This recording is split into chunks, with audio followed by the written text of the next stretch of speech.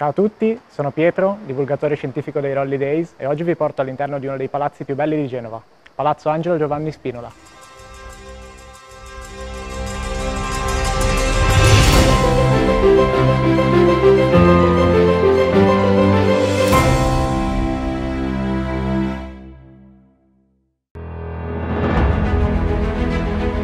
Il palazzo viene costruito a partire dal 1558 fino al 1564 da Angelo Giovanni Spinola su progetto di Giovanni Ponzello. Angelo Giovanni Spinola è uno degli uomini più ricchi del tempo, in quanto è banchiere diretto di Re Carlo V Re di Spagna. E grazie alle sue ricchezze riesce ad aggiudicarsi in asta questo palazzo, battendo l'offerta di Tobia Pallavicino, il proprietario di Camera di Commercio.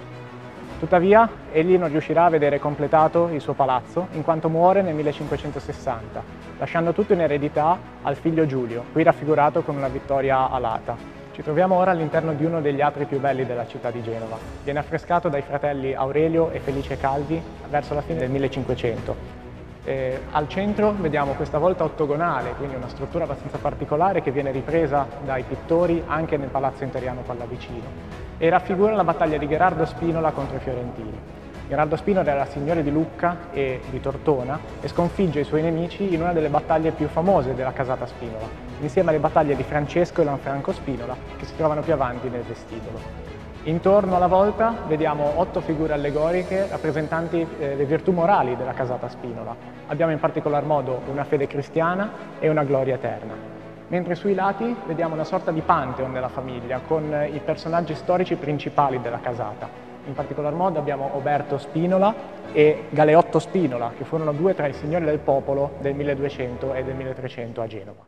Siamo saliti ora al piano nobile, nel punto focale del palazzo, il salone principale, il salone di rappresentanza.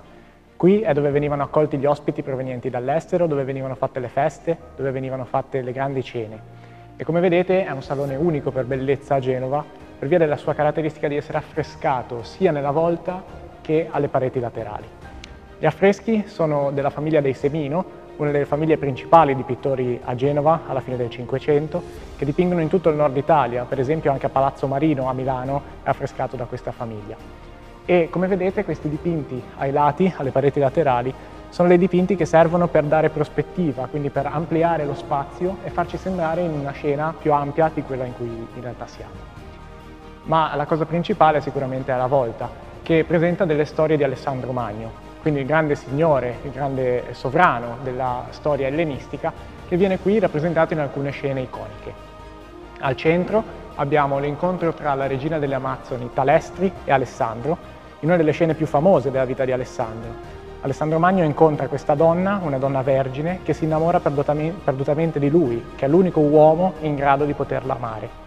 Poi abbiamo l'episodio di Alessandro che doma Bucefalo, l'episodio della battaglia di Isso, dove Alessandro sconfigge il re Dario, l'episodio di Alessandro che incontra la regina di Caria, Ada, un episodio del viaggio in India di Alessandro, che incontra un bramino, il bramino Calano, e che sarà il suo compagno di viaggio fino al ritorno in Persia, quando malato deciderà di ardersi vivo in onore del sovrano. Poi abbiamo l'incontro tra Alessandro e Aristotele, il precettore, che eh, gli chiede di ricostruire la città di Stagira, che era stata distrutta in una precedente invasione.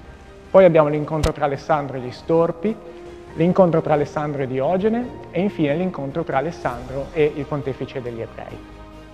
Ci potremmo chiedere perché eh, il nostro Giulio Spinola decida di far affrescare questa storia al, ai Semino.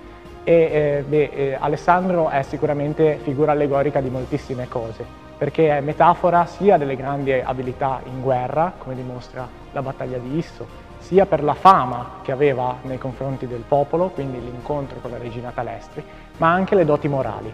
Quindi abbiamo la generosità verso Alessandro, l'umiltà nei confronti degli storpi, perché Alessandro si mette al loro stesso livello, e il rispetto della fede nell'episodio dell'incontro col pontefice degli ebrei, quando Alessandro lascia libertà di culto nel territorio appena conquistato.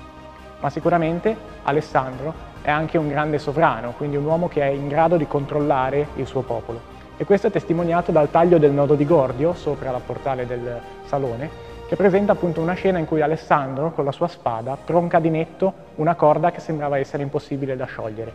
Questa è metafora dell'abilità del buon governo, di Alessandro in grado di saper prendere la soluzione giusta nel momento giusto. E quindi Giulio Spinola, con questa allegoria, vuole mostrare una metafora di quello che sono gli Spinola. Gli Spinola, così come Alessandro, devono essere in grado di essere forti in battaglia, di saper governare sul popolo, ma anche e soprattutto di avere doti morali giuste, equilibrate, come la generosità e l'umiltà. Lo stesso tema viene trattato da Bernardo Castello nel magnifico affresco dell'Antisala. Infatti questo rappresenta la fine della battaglia di Isso, che abbiamo visto nel salone, con l'episodio della clemenza di Alessandro. Al termine della battaglia, la madre di Dario Sisigambi viene abbandonata dal figlio e Alessandro, anziché ucciderla, la accoglie alla sua corte. Questo è un episodio ancora una volta allegorico, perché la clemenza di Alessandro è la stessa clemenza che gli Spinola dovevano avere nei confronti della popolazione che controllavano ma è interessantissimo vedere lo stile di questo affresco, che è uno stile innovativo. L'artista Bernardo Castello è un artista che si avvicina di più al 600 genovese che al 500. Non è il manierismo dei Semino, ma è uno stile diverso dove Castello simula una cortina che scende dalla volta, creando questa prospettiva che ci dà profondità e volume alla scena. È un affresco bellissimo, datato 1592, come dimostra la scritta in latino. Abbiamo visto nel salone principale la storia di Alessandro, quindi uno dei più grandi protagonisti della storia ellenistica. Nei salotti laterali, affrescati anche questi della fine 1500, sempre da Bernardo Castello, troviamo invece la narrazione delle storie romane. In particolar modo, in questo bellissimo salotto, abbiamo la raffigurazione della storia di Ottaviano.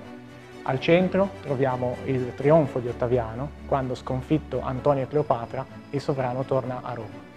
Ai lati abbiamo invece la battaglia di Azio, quindi la grande sconfitta di Antonio, la lotta di Cleopatra, il suicidio di Antonio di fronte a Cleopatra stessa e infine l'incontro tra Ottaviano e Cleopatra con il famoso suicidio della donna grazie al morso dell'aspide sul suo seno. Come vedete questo salotto, in generale tutto il palazzo, è bellissimo anche per via dell'allestimento della nuova proprietà che rende veramente giustizia agli affreschi. Abbiamo visto i salotti del lato est affrescati da Bernardo Castello che presentano le storie di Ottaviano, Scipione e Antonio. Qui ci troviamo al lato ovest eh, con affreschi realizzati da Lazzaro Tavarone, quindi un quarto artista, che ci fa capire l'importanza del sito culturale in cui ci troviamo. In questo caso siamo eh, nelle storie di Cesare, quindi nel salotto precedente abbiamo visto la scena delle battaglie tra Cesare e Pompeo, in questo caso ci troviamo con il trionfo di Cesare, quindi il momento in cui Cesare viene acclamato come imperatore del popolo romano. Nei lati troviamo invece però il lento decadimento di Cesare, fino alla morte dello stesso Cesare, ucciso per mano del figlio Bruto.